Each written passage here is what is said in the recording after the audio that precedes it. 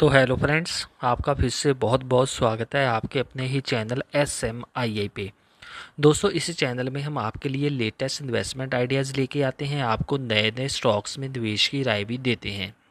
तो आइए दोस्तों, इस वीडियो में बात कर लेते हैं एक लार्ज कैप कंपनी के स्टॉक की that is N T P C दोस्तों एन टी के स्टॉक में कल ब्रेकआउट हो गया है। बहुत ही शानदार मोमेंटम इसके चार्ट में दिख रहा है। और कल ये जो स्टॉक है, ये 3.78 परसेंट की रैली के साथ 246 की प्राइस पे क्लोज हुआ है एट 3:30 पीएम तो इंट्रा डे में 250 के लेवल्स भी देखने को मिले थे। लेकिन 250 के लेवल को क्रॉस ये स्टॉक नहीं कर पाया है। तो इसलिए शॉर्ट टर्म में 250 के रेजिस्टेंस लेवल देखने को मिल रहे हैं। तो दोस्तों, इस स्टॉक को हम 190 के राउंड से जो है वो कवर करते आ रहे हैं। तो हमने कंटिन्यूसली आपको कवरेज करके बताया है। और ये जो स्टॉक है, बहुत ही बढ़िया स्टॉक है और फंडामेंटली स्ट्रॉन्ग स्टॉक है। और ये जो कंपनी है, अब अपनी माइनिंग ऑपरेशंस को डीमर्ज भी करेगी। तो अच्छी अच्छी न्यूज़ इस कंपनीज़ में आ रही हैं, क्योंकि पावर सेक्टर की डिमांड हाई है। और ये जो कंपनी है लार्ज कैप कंपनी है और पावर सेक्टर में बहुत ही अच्छा काम कर रही है। तो इसलिए इसमें तो ग्रोथ होनी ही थी। तो आने वाले टाइम में भी यदि आप थोड़ा सा लॉन्ग टर्म का प्रोस्पेक्टिव रख के इस स्टॉक में निवेश कर सकते हो तो इसमें आपको जो है वो शानदार रिटर्न्स मिल सकते हैं। क्योंकि अभी अभी इस स्टॉक में अच्छी न्यूज़ भी आ रही हैं कि कंपनी के ने नई ऑर्डर बुक भी स्ट्रॉन्ग हो रही है। और कंपनी नए पैक्ट्स भी जो है वो जो है वो साइन कर रही है। तो इसलिए दोस्तों, इस स्टॉक में आपको शानदार तेज़ी देखने को मिल सकती है। तो आइए इसके टेक्निकल चार्ट का एनालिसिस कर लेते हैं वैल्यूएशन देख लेते हैं। नए आए हो, सबसे पहले हमारे चैनल को सब्सक्राइब कर लें। दोस्तों, ये जो लार्ज कैप स्टॉक्स होते हैं ना, ये मार्केट के हिसाब से ही चलते हैं। जब मार्केट रैली करती है तो ये स्टॉक बहुत ही तेज़ी से चलते हैं। इवन मार्केट से भी तेज़ी से चलते हैं।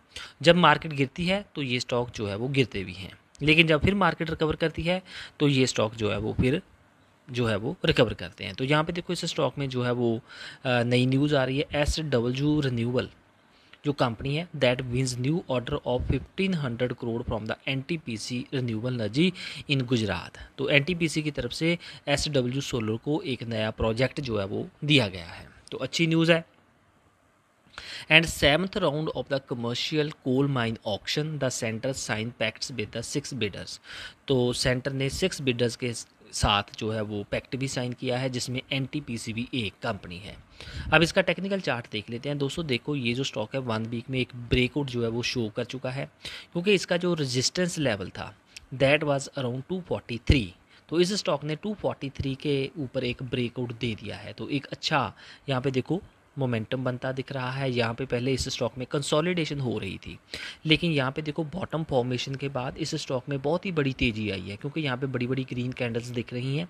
मतलब इसके वॉल्यूम में भी तेज़ी आ रही है और इसकी जो प्राइस है, वो भी बढ़ रही है। तो ये इंडिकेशन है इस स्टॉक में एक ब्रेकआउट का।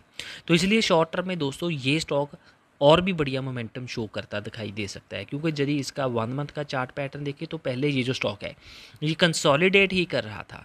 टू फोर्टी थ्री के अराउंड ही इसका एक रेजिस्टेंस लेवल था। उसको ये स्टॉक ब्रेक नहीं कर पा रहा था। पहले देखो, यहाँ पे ट्राई किया, यहाँ पे ट्राई किया, यहाँ पे ट्राई किया।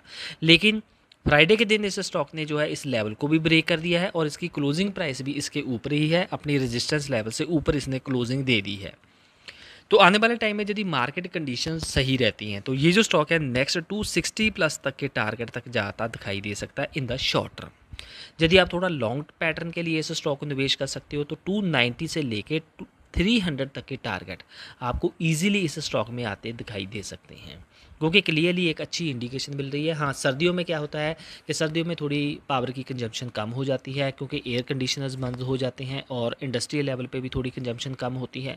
तो इसलिए सर्दियों में थोड़ी दिक्कत रह सकती है, लेकिन यदि आप नेक्स्ट वन ईयर का इस स्टॉक में निवेश का पैटर्न लेके चलोगे और डिप में इसको बाई करते रहोगे तो आपको शानदार रिटर्न ज़रूर मिलेंगे। क्योंकि फाइव ईयर्स में देखो ये एट्टी परसेंट के रिटर्न दे दिए हैं इस स्टॉक ने और इसकी जो प्राइस थी ट्वेंटी में एटी तक भी चली गई थी।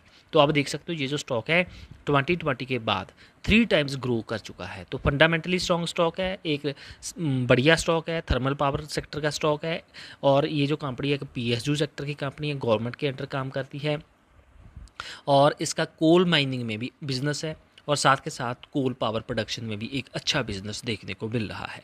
तो आने वाले टाइम में जैसे जैसे इकोनॉमिक रिवाइवल होगा तो पावर की डिमांड भी बढ़ेगी तो इस स्टॉक में भी शानदार रिटर्न मिल सकते हैं। तो जो हमने आपको टारगेट बनाए हैं शॉर्ट टर्म के 260 तक के टारगेट हैं और लॉन्ग टर्म में ये स्टॉक 300 प्लस तक जा सकता है। थैंक्स अगेन मिलेंगे नई वीडियो के साथ। अभी तक यदि आप हमारे चैनल के साथ नहीं जुड़े हो तो हमारे चैनल को आप सब्सक्राइब कर लें।